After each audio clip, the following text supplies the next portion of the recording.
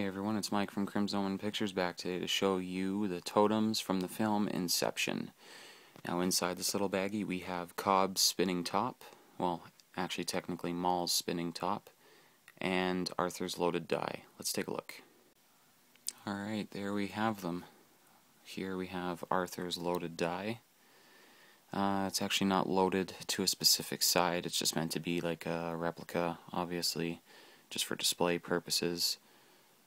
Uh, looks pretty cool if you have a Christopher Nolan movie shelf or an Inception movie shelf, just to throw this on there. And then, of course, probably the most famous thing from the movie, the spinning top. As you can see on the bottom, it has a slight engraving of the words spelling out Inception there. And it's actually movie size uh, movie friendly, as I like to call it. It looks exactly like the way it is in the film, same shape, and it's actually smaller than most spinning tops. Just to show you a comparison, this is another top I got off eBay, and look at the size difference. Huge and movie friendly.